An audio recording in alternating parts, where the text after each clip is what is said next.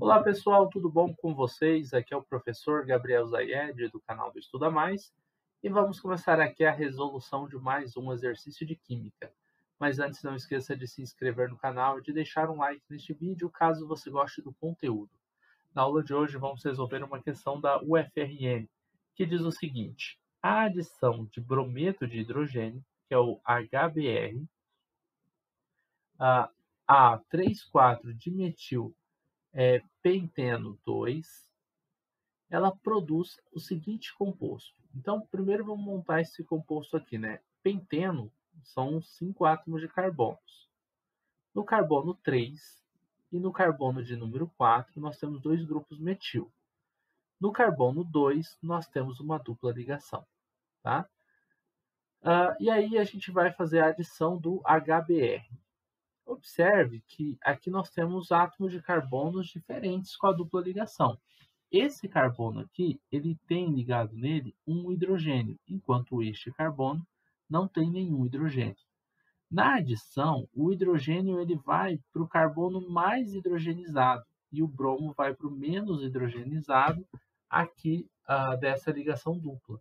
Então vai, ser, vai ter a quebra da ligação dupla e a formação de um novo composto. Esse novo composto vai ter o bromo ligado nesse carbono, que não tinha nenhum hidrogênio, enquanto vai ter um hidrogênio a mais aqui. Como eu estou fazendo a fórmula em linhas, eu vou representar assim sem aparecer aquele hidrogênio, tá? Na fórmula em linhas a gente tende a deixar os hidrogênios implícitos. E pronto, está aí o composto que foi formado nessa reação. Lembrando que essa é a regra de Markovnikov o hidrogênio ele vai para o carbono mais hidrogenizado.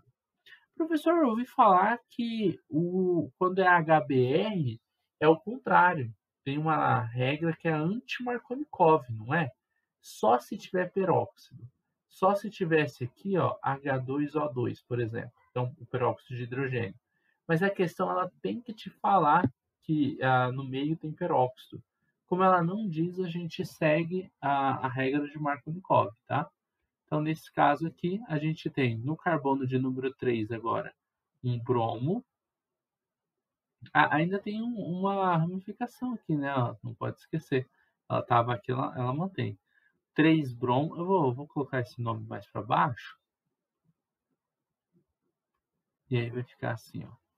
É, essa nomenclatura eu estou começando com o Brom por causa da ordem alfabética, mas a numeração, a gente está numerando aqui, ó, 1, 2, 3, 4 e 5, tá?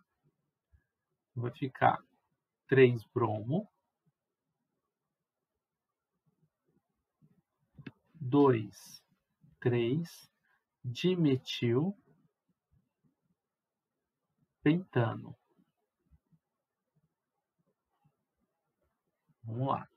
3 bromo, 2, 3 de metil, pentano. Ó, essa parece que tá idêntica, né? De metil, pentano. É, tá igual. Então, letra D, alternativa correta para essa questão. Basicamente é isso. Terminamos a resolução de mais um exercício de química e eu espero que você tenha gostado da resolução desta questão. Se você gostou do vídeo, não esqueça de deixar um like aqui, de se inscrever no canal do Estuda Mais, para receber mais aulas assim como essa.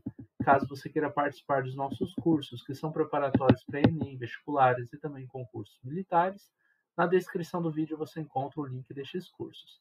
Se quiser continuar acompanhando nossas aulas aqui no YouTube, não esqueça de se inscrever no canal, de dar um like no vídeo, quem sabe um comentário também, e de estar aí ativando o sino das notificações para receber as atualizações do Estuda Mais no seu YouTube. Desejo bons estudos e até a próxima.